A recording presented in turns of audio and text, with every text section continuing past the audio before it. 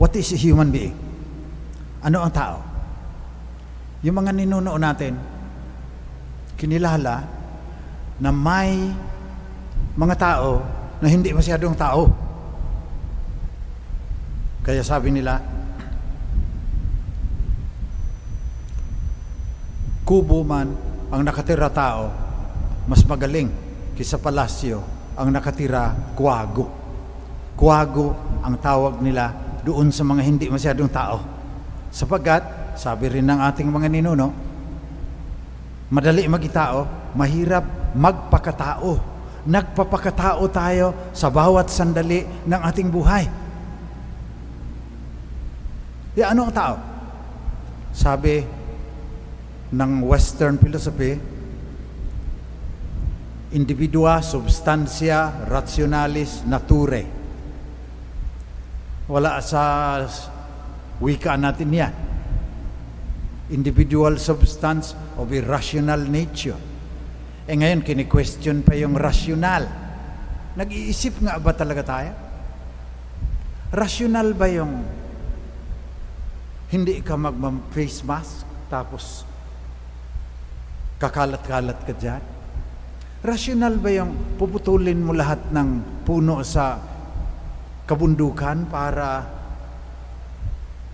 maghirap yung mga nasa ibaba, babahain? Rational ba yung gagawa ka ng napak- napakaraming nuclear weapons? Kung pag-ipon-ipunin ang nuclear weapons ng Russia, England, United States, France, China, they can destroy the earth 25 times over sa dami ng nuclear weapons tapos isang bilyon ang nagugutom sa buong mundo. Hindi tayo masyadong rasyonal, hindi tayo masyadong nag-iisip. Kaya dapat may bagong definition. Ang isa sa magandang definition na natagpuan ko ay yung kay Father Carl Rahner, a noted Jesuit theologian. Sabi niya, the human being is a being that is always already beyond. Unpack natin ang meaning. Always already beyond. Yung ando na. Binabato ng tao ang kaniyang sarili sa hinaharap. Nagpaplano. Kasi kailangan eh. Hindi mo paplanuhan yung anak mo na makapag-aral yan. Walang kinabukasan yan. Kasi gumawa rin tayo ng lipunan na kailangan may profesyon ka, tapos ka ng college. So kailangan ibato mo ng mas malayo pa yung iyong sarili. Magplano ka ng mas matagal. Ang ibig sabihin ni Carl Rahner, sapagat lagi mong binabato ang sarili mo sa hinaharap, nalalampasan mo yung iyong sarili. Halimbawa, nag-aral ka ng values formation. Mas tao ka kaysa noong hindi ka pa nag-aral dahil nagkakaroon ka ng mga pagpapahalaga na tama. Kaya kailangan turuan yung mga bata ng tamang values, sabi ni Runner. So lagi nating nilalampasan ang ating sarili. Ang ibig sabihin, balikan natin natin yung mga ninuno. Lagi tayong nagpapakatao. Walang tigil dapat ang ating pagpapakatao. Dugtong pa a human being is a being that is always already beyond. Ang dugtong niya, she becomes herself only if she becomes more than herself. Nagiging ikaw lang kung lampasan mo yung sarili mo. Kung magiging higit ka sa iyong pagkatao. At dyan tayo papasok sa Ebanghelyo. Kasi sabi ni Runner, hindi ka magiging ganap. You will not become more than yourself if you do not let God become your life. Wala ka ng moral compass. Hindi mo alam kung anong mabuti at masama. Kung wala kang takot sa Diyos, Nanakawin mo na yung milyon-milyon. Face mask na 20 pesos lang, bibilhin mo ng 140, eh saan nagpunta yung 120 pesos? Yun pinag-uusapan ngayon. Ba't mo gagawin? Para lang kikita ka, mamamatay ka rin eh. Eh sabi ni Steve Jobs, noong unti-unti na siyang namamatay dahil may cancer sa liver, tapos yung transplant hindi umubra. Sabi ni Steve Jobs, yung pera ko sayang lahat yan. Eh, hindi ako makabili ng buhay. Hindi ako makapagbayad sa ibang tao na siya ang magpakasakit para sa akin na unti-unting kinakain ng cancer yung aking atay. Pero, ginagawa ng marami tao. Wala silang pakialam. Kung pagnakaw nila ng pera, maraming maghira. So, ang yaman-yaman na, bilyonaryo na. Sa kanilang mga tindahan, endo pa rin. Five months lang ang kontrata, kasi pag nagsi six months, dadagdagan na nila ng mga benepisyo. That's why. So that we'll become real human beings, authentic human beings, we have to love God, our God, with all our heart, with all our soul, with all our mind. Kung hindi, sabi ni Runner, hindi ka man lang magiging ganap na tao. Kailangan mo ang Diyos. Kaya yung sinasabi sa Beatitudes, sa mapapalad, ang karaniwan nating naririnig, mapalad, ang mga malinis ang puso, makikita nila ang Diyos. Sinalin yan uli sa Aramaic kasi Grego na yan nung sinulat ni San Mateo. Ang dumating sa atin, Grego na lang yung mga teksto. Sinalin sa salita ni Jesus. Ibinalik sa Grego. Ang lumabas ngayon ganito. Mapapalad ang napapagtanto na kailangan nila ang Diyos. Blessed are those who realize that they need God. God does not need our love. Tayo ang may kailangan sa Kanya. Tayo ang kailangang mahalin siya ng buo nating puso, ng buo nating kaluluwa, ng buo nating pag-iisip.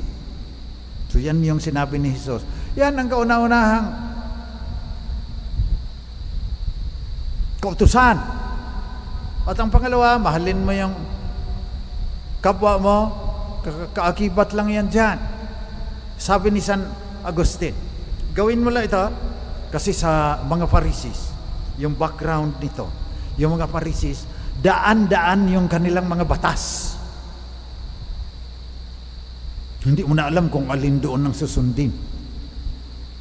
Mula sa batas ni Moises, gumawa sila, dinagdagan ng dinagdagan. So sabi ngayon noong scholar of the law, nag-aaral dito sa mga batas, alin ba ang pinakamahalaga dyan sa daan-daan? Sabi ni Jesus, You shall love the Lord your God with all your heart, with all your soul, with all your mind. Why do you love Him? So that you will become yourself. So that you will experience a more abundant life. So that you can reach eternal life, which is your ultimate destiny. Yung pangwakas nating tadhana ay maging kasama ang Diyos. Kaya dito pa lang, mamahalin mo siya ng buo mong puso, ng buo mong kaluluwa, ng buo mong pag-iisip. So yan ang ating ipanalangin sa misa ngayon. Kasi madaling sabihin. Pero, sasabihin mong, mahal mo ang Diyos, pag mayroon ng mga tukso, pagtataksilan mo na siya. Lagi tayong naghuhudas sa Panginoon. Marupok tayo. Naniniwala naman tayo Mag-spiritual communion tayo. Pero hindi natin magagawa yung mahalin siya ng buo nating puso, ng buo nating kaluluwa, ng buo nating pag-iisip. Kailangan siya pa ang tutulong sa atin. Yun ang ibig kong sabihin. We need the grace of the Holy Spirit so that we can love God. Dahil mahirap din yung mahalin siya eh. Ang daming tukso. Nasabi ni St. John, from the flesh, from the world, the flesh, and the devil. Pinipilit niyang tatlo. Yung mundo, iba ang pa- pagpapahalaga niyan. Materialistic yan. Walang eternity yan. Pangalawa, yung sarili mong karupukan. Yung katawan mo. Binubulid ka sa kasalanan minsan yan. Kahit yan, mabuhay na maguli kung mamahalin mo ang Diyos. At ang pangatlo, alam mo naman natin, may demonyo na tinutukso tayo talaga na huwag mo nang mahalin niyang Diyos. Ako ang, ito ang tukso niya kay Jesus eh. Sambahin mo lang ako, bibigay ko sa iyo lahat yung kaharian ng mundo. Eh minsan hindi kaharian ang sinasabi niya eh. Sambahin mo lang ako, manalo ka ng sweepstick.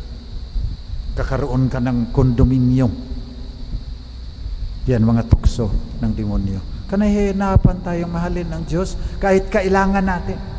Kahit sinasabi na natin, hindi tayo magiging tao kung hindi natin mamahalin ang Diyos. Sinadya din niya yan eh. Kaya sabi ni St. Augustine, Creastinos adte Domine, it inquietum est cor nostrum, donec quiescat in te. Ang ibig sabihin, nilikha mo kami, Panginoon, para sa iyong sarili. At hindi makakatagpo kailanman ng katiwasayan ang aming mga puso hanggang hindi magbabalik sa iyo. Yun ang ating panalangin ngayon. Na sana, huwag na nating pagtaksilan ang Panginoon. Magbago na tayo ng pagpapahalaga. May COVID eh. Maski bilyonaryo, si Steve Jobs, namamatay sa kanser ng atay. Maski bilyonaryo, yung mga anak nila, tinatamaan ng sakit o kaya COVID, patay pa rin. Walang silbi yung iyong bilyon. Hindi mabubuhay ang anak mo, maski na bilyon pa ang gagastahin mo.